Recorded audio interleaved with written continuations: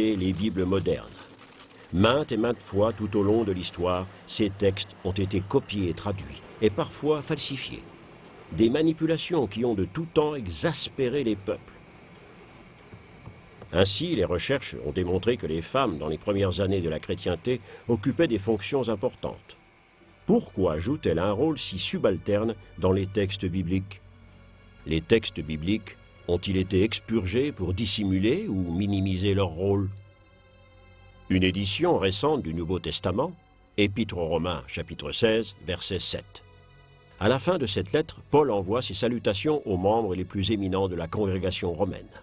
Il s'adresse en particulier à deux d'entre eux dont il considère l'action comme étant digne de celle des apôtres. Andronicas et Junias sont a priori deux hommes.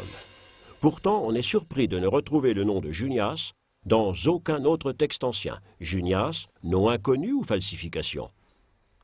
À l'Institut de restauration des manuscrits antiques de la Bibliothèque nationale de Vienne, des documents anciens sont minutieusement reconstitués de minuscules fragments de papier sont assemblés pour former des textes qui nous ramènent directement au monde de l'Antiquité. Particulièrement la plus vieille copie de l'Épître aux Romains, le papyrus Chester Beatty, écrit vers l'an 200.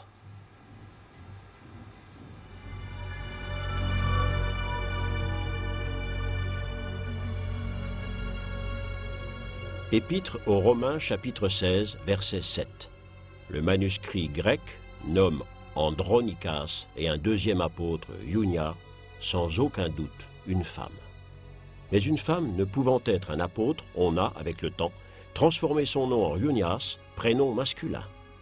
C'est ainsi qu'a été supprimé l'héritage féminin du christianisme primitif.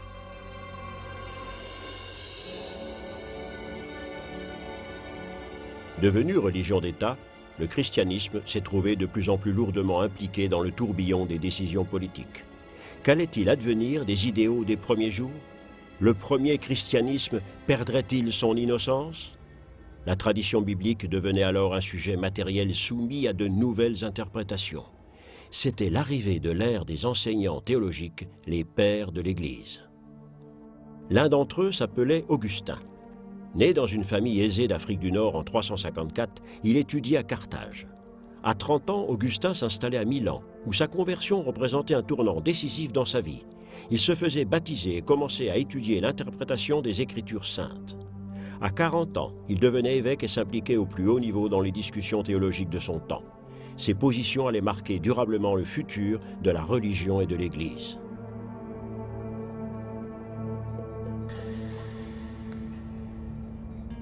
Au temps des persécutions, tous les chrétiens ne s'étaient pas montrés aussi fermes que les martyrs. Beaucoup, même des évêques, avaient renié leurs convictions devant la menace et s'étaient éloignés de la foi.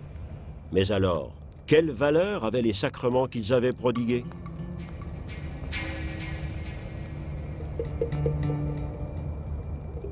Augustin décidait que le sacrement était indépendant de la personne qui l'avait donné.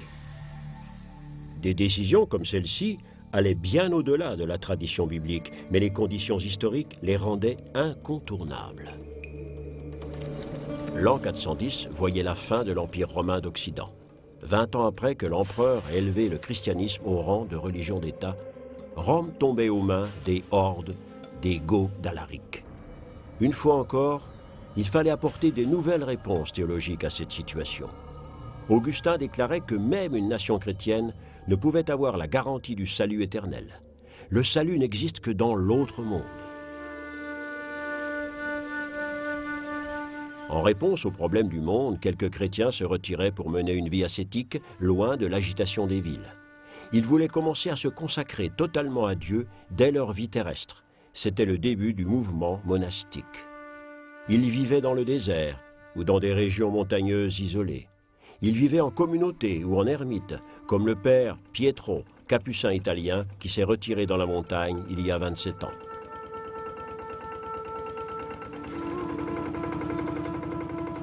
Pietro vit selon une tradition qui remonte au premier temps de la chrétienté. Il s'est donné pour tâche de reconstruire un ancien refuge de pèlerins tombé en ruine pendant des siècles.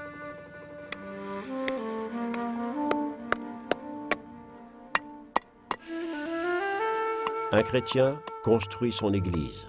le père Pietro le fait seul et à la main. Représente-t-il le vrai christianisme?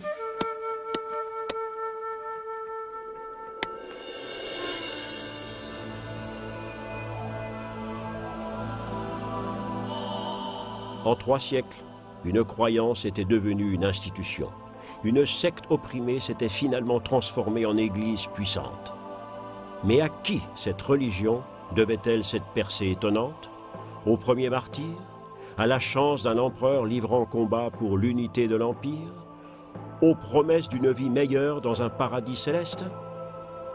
En tout état de cause, l'impulsion donnée par les premiers chrétiens continue de se propager plus de 2000 ans après la mort d'un certain Jésus de Nazareth.